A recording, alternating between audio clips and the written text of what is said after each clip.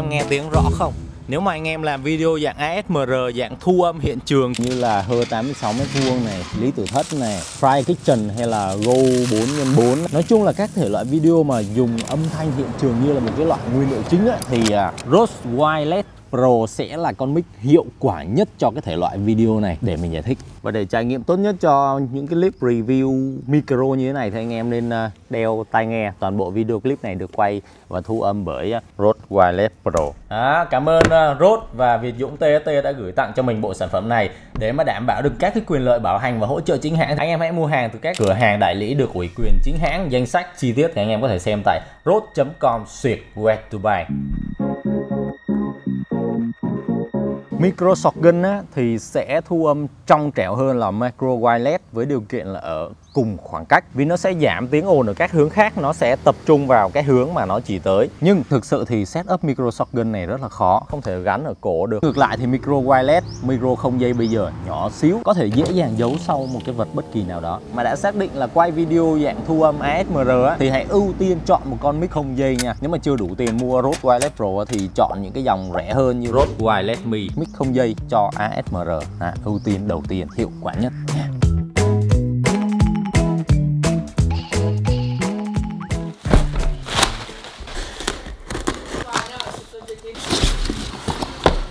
Rode. Micro thu âm không dây chuyên nghiệp nhỏ nhất Rode Wireless Pro nhỏ xíu. Chuyên nghiệp nha anh em chuyên nghiệp.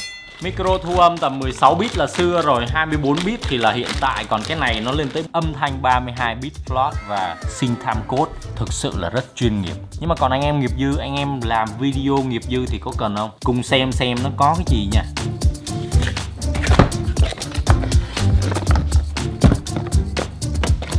Còn gì hết Mở hộp ra chúng ta chỉ có hai hộp, một cái dây, một cái hướng dẫn sử dụng an toàn này. Đây là cái hộp mic kim luôn cái hộp sạc 4200 mAh Đó, cổng sạc ở chỗ này, cái nút này không biết làm gì, mở ra.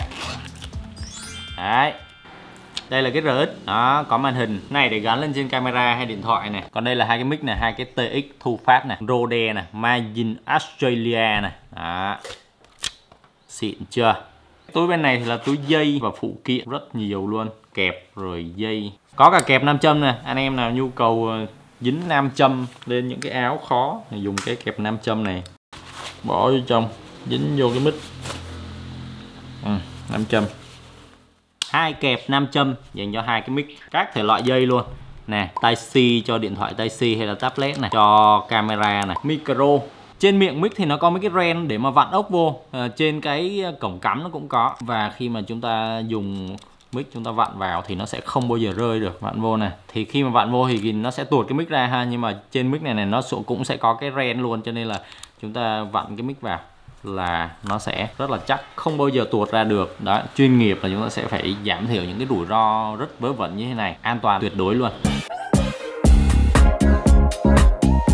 Chất lượng thu âm mà 16 bit nó là quá thường rồi. Con mic này nó thu âm không dây truyền trực tiếp vào camera với độ trễ gần như không lên đến 24 bit Và thu âm tự thân rack vô trong đây một cái file WAV lên tới 32 bit float Nếu mà nói về sự khác biệt thì anh em sẽ thấy ngay sự khác biệt giữa 8 bit, 16 bit và 24 bit. Nhưng thực sự đến 24 bit và 32 bit thì tai nghe sẽ không thể nào mà phân biệt, không thể nào nhận định được sự khác biệt giữa 24 và 32 bit. Tuy nhiên cái file 32 bit này nó rất là có lợi về mặt hậu kỳ Hình dung 32 bit nó tương tự như là một cái file ảnh RAW nó chứa nhiều thông tin hơn nó lưu trữ được cái giải âm thanh rộng hơn rất là nhiều nên là về mặt hậu kỳ chúng ta sẽ có lợi hơn Bản thân cái TX này nó đã tích hợp một cái micro chất lượng cao rồi nhưng nếu anh em muốn cải thiện hơn, muốn âm thanh chất lượng tốt hơn thì anh em có thể dùng cái cổng 3.5 này để cắm thêm một cái micro rời.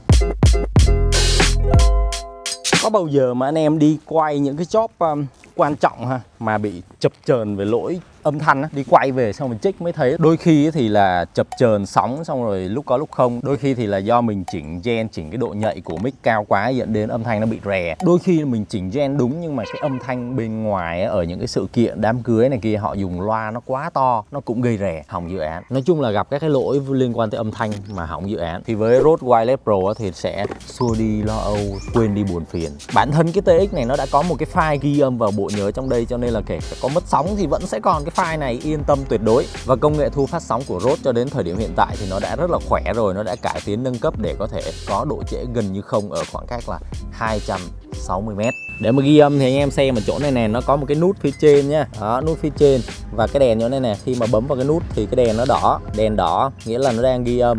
Đó tắt này. Khi mà rec ở đây á, thì anh em cũng có thể check ở cái RX là cái bộ thu tín hiệu á, là nó cũng có một cái nút đỏ để mà chúng ta có thể check được xem là đang ghi âm ở trong này hay chưa. Nếu mà chưa thì anh em cũng có thể nhấn cái nút O ở trên cái RX để có thể kích hoạt cái chế độ ghi âm trên cả hai cái TX ghi âm này khi mà ghi âm xong á, thì à, cắm cái bộ này vô trong cái hộp sạc. Sau đó là chúng ta sử dụng cái hộp sạc kết nối với lại máy tính thông qua cổng USB Type-C chỗ này nè khi mà cắm vô thì máy tính nó sẽ hiện ra nhận như là một cái USB lưu trữ dữ liệu để truy cập và chép cái file vô sử dụng. Hoặc là kết nối cái RX với lại điện thoại để vào trong cái app Rode Center á, là lấy file được. Và cái hay ở đây á, là cái file ghi âm rời ở trong cái TX cái mic này nè nó có tích hợp time code cho nên là rất là dễ dàng để chúng ta ghép vô trong video những trường hợp mà kể cả video mất tiếng luôn thì chúng ta đã có cái time code để có thể ghép vô rất là khớp. Đó. Xịn chuyên nghiệp. Quay video, quay phim chuyên nghiệp mà không cần mấy cái chức năng chuyên nghiệp này thì cần cái gì nữa, đúng những cái show diễn đắt tiền, những cái cảnh quay quan trọng, phải set up rất là tốn kém thời gian, tiền bạc mà hỏng audio thì đền bộn lắm. Ừ nốt cho phép điều chỉnh cái độ sáng màn hình cũng như là độ sáng của các cái đèn led để khi mà quay phim chúng ta sẽ không bị cái đèn này nó sáng quá gây tập trung, gây chú ý cho khán giả. Và mặc định thì ở cả TX và RX sẽ có những cái nút như thế này, nút chữ O này này, biểu tượng của rốt trên mic là trên TX cũng có luôn. Thì cái nút này chúng ta có thể set cho nó hai cái phím tắt đối với RX thì chúng ta có thể set nó làm cái phím để chúng ta rec bấm để mà kích hoạt cái chế độ ghi âm trên cả hai cái mic. Hoặc là set làm cái phím để bấm vào để marker để đánh dấu cái đoạn mà chúng ta cần lưu ý để về nhà chúng ta hậu kỳ biết được chỗ nào là chỗ mà cần lưu ý. Ở trên TX thì cũng là bấm vào để có thể marker hoặc là bấm vào để mute để vô hiệu hóa cái mic không dây này truyền đến camera truyền đến cái RX á. nhưng mà cái mute này nó không có hữu dụng đối với lại cái file ghi âm ở trong máy nha. Bấm mute thì camera sẽ không ghi âm được nhưng mà cái file ghi âm ở trong máy thì vẫn ghi âm bình thường nha. Trong trường hợp mà bạn sử dụng nhiều loại camera khác nhau và mỗi camera có một cái mức âm lượng ờ, cần thiết điều chỉnh phù hợp thì ờ, uh, Rode Pro cho phép chúng ta lưu lại những cái profile đó để khi mà dùng camera nào thì chúng ta chọn cái camera đó rất là nhanh, không phải điều chỉnh lại các cái thông số.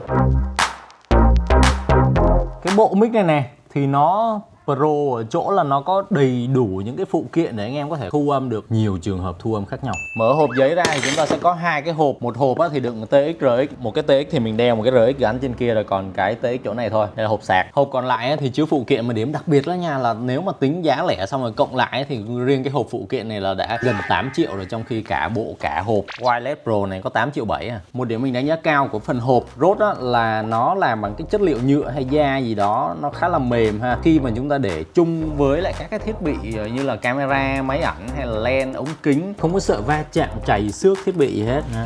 Một cái điểm nhỏ thôi nhưng mà trải nghiệm sẽ tốt. Phụ kiện thì có hai cái mic. Lavalier phiên bản 2 xịn sò bản dẹp luôn. Có luôn đầu mút. Một cái mic này mua lẻ là 2 triệu 8 và hai cái là đã 5 triệu 6 rồi dây lining tai C và cọng dây này ba cái cọng dây này là đã hơn 1 triệu là gần 7 triệu rồi. Thêm hai cái kẹp nam châm mát clip này nữa mỗi cái 500 rưỡi nữa là một triệu mốt là gần 8 triệu rồi. Bông mút lọc gió những cái phụ kiện nhỏ nhỏ chưa tính tiền. Nói chung là cái hộp phụ kiện là đã gần 8 triệu rồi. Mà cái bộ này có 8 triệu 7 thôi. Nên nếu mà tiết kiệm thì mua nguyên bộ như này nè. À, không dùng cái gì thì bán bớt đi. Chứ còn mua những cái nhỏ nhỏ xong rồi cần mới mua thêm thì thì nó tốn tiền hơn. Hộp sạc 4200 mAh có thể sạc được hai lần cho bộ RX và TX mặc định thì TX và RX có thể sử dụng được ờ, đầy pin là 7 tiếng liên tục và nếu mà cắm vô sạc xong rồi lại dùng tiếp cắm sạc liên tục dùng tiếp thì tổng cộng chúng ta sẽ có 20 giờ sử dụng liên tục nếu mà đi kèm một hộp sạc. Nó rất là tiện trong những trường hợp mà chúng ta cần chuyển cảnh quay ấy, thì trong cái lúc mà chúng ta di chuyển chúng ta cắm một sạc nên là lúc nào cũng sẽ sẵn sàng pin để chúng ta sử dụng tiếp. Mà kể cả trong những trường hợp hết pin cả ở đây ở đây bí quá chúng ta có thể cắm vào những cục sạc dự phòng để mà cắm vào đây. Đó, vừa sạc vừa quay. Riêng đối với rốt là cắm sạc thì không có lo bị nhiễu ha. Rất là ok âm thanh vẫn sẽ trong trẻo như thường. Và trong quá trình sử dụng thì mình phát hiện ra một điều rất là thông minh đó là cái bộ sạc này này khi mà rút ra nó tự động bật lên tự động kết nối luôn. Không cần phải làm bất cứ thao tác gì bật hay là kết nối gì hết. Kể cả là chúng ta có đang dùng như thế này. Đó, cái này cắm vào đây là nó đang tắt đúng không?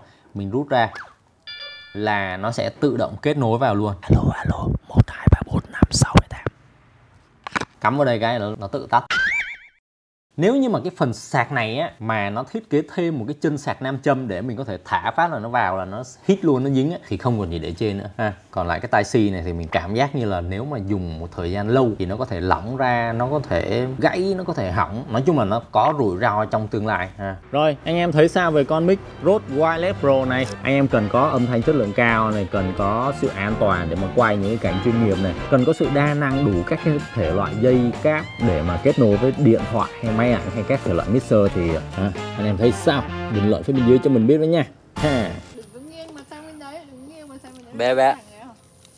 Ở ghế của em điện á. Đâu có tiền gì đâu mà ngồi ghế này